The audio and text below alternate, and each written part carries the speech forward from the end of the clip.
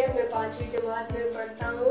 आज का मेरा मौजू है गज़ल की तारीफ़। ये वो शेर की किस्म है जिसमें पाँच से ज़्यादा पंद्रह तक शेर होते हैं।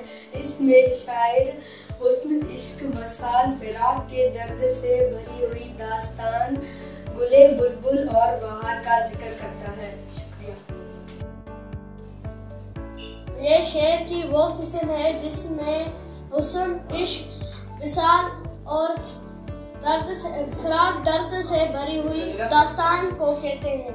ये शेर की वो किस्म है जिसमें शायर हुस्न, इश्क मिसाल और फराक की दास्तान का ज़िक्र करता है। है जिसमें पाँच से ज़्यादा पंद्रह तक शेर होते हैं, इसमें शायर हुसन, इश्क वसाल के दर्द से भरी होती दास्तान बयान करें। ज़मीन के लिए है ना तो आसमान के लिए है तेरा वजूद अब सिर्फ़ दास्तान के लिए है।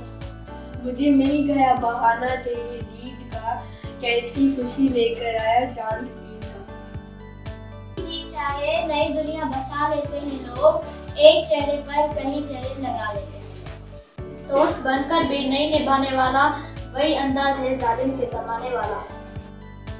कितनी दिलकश हो तुम कितना क्या सितम है कि हम मर जाएँगे? कभी खुद पे, कभी हालात पे रोना आया, बात निकली तो हर एक बात पे रोना आया। हम तो समझे थे कि हम भूल गए हैं उनको क्या हुआ, आज किस बात पे रोना आया?